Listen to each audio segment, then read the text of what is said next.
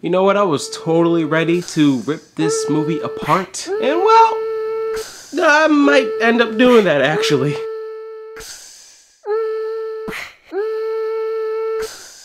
Watch Over Us, which starred uh, aging Sean Evans, some kind of pretty chick, and some other girl who was like 13, but sometimes she looks like she's 37, and sometimes she looks like she's 12, but she's like 13 sometimes, another time she looks 34. Anyway, so Watch Over Us is about a family who is being haunted by some kind of devilish entity, I should say. This guy who is having some financial troubles and is in need of a job and is dating some people and all this other shit that I really don't care about. Watch Over Us has got to be the longest hour and 10 minute movie that I have ever seen in my life. I could barely keep up with the pacing. It was just all over the place. I really couldn't get a sense of time. Some scenes would start, you know, in the dark and then later on it'd be daylight outside and it'd still be considered the same day and I just I really couldn't just keep track.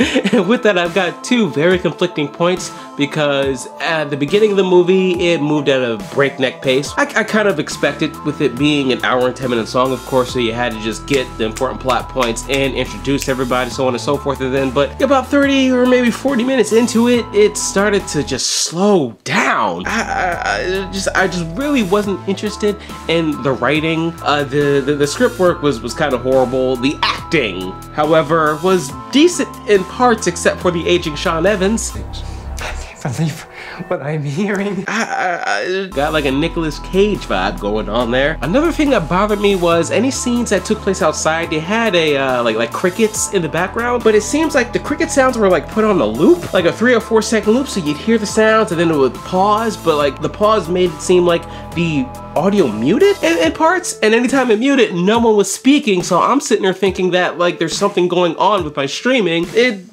wasn't. It was just the audio and it really broke immersion. Another thing that broke immersion oh my god I, I, I, which was my, my biggest issue of all was the first time you know some real suspense was actually built in Liza's bedroom with the sound that she was hearing. And then like you see the deity sort of form out of nowhere. And then the choppy slow motion starts and it just took me out of it. I was actually getting kind of spooked. I can't sleep here tonight. Look at Dad. Whoever it is, stop it. I'm serious.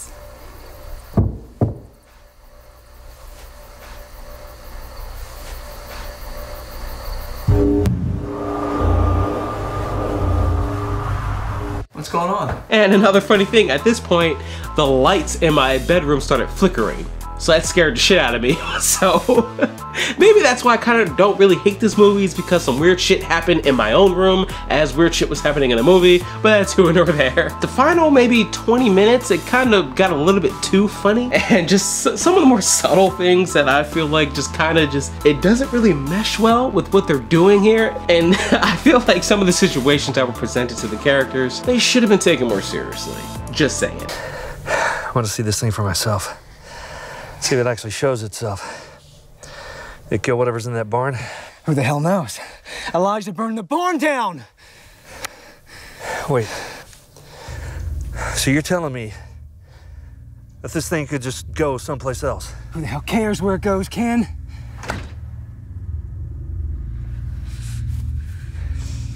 Shit!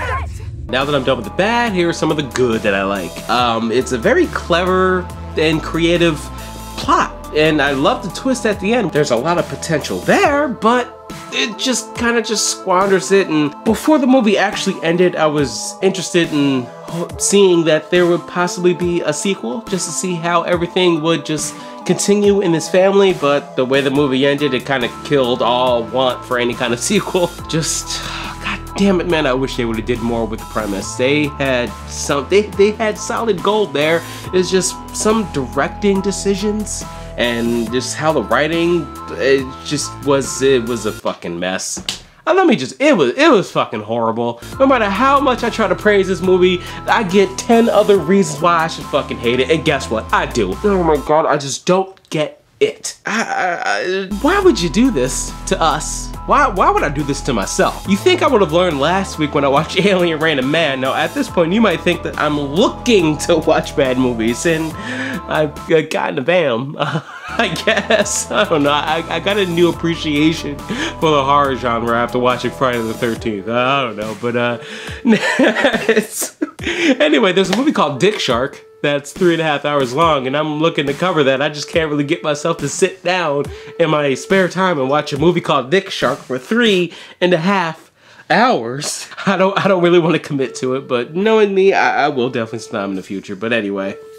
Watch Over Us, it's kind of recommended if you're blackout drunk. I don't know, if you had to choose between like eating like a live mouse and watching Watch Over Us, uh, Uh, I hope the mouse is dark meat. Anyway, thank you so much for watching. If you enjoyed this video, please make sure to give it a big thumbs up. And if you send me a screenshot of you actually liking this video to any one of my social media links, which will be in the end card and down in the description box below, I will follow you back on any and all of your social media sites. And make sure to subscribe to join the Killer Kountdown clan. Just don't go burning any crosses now.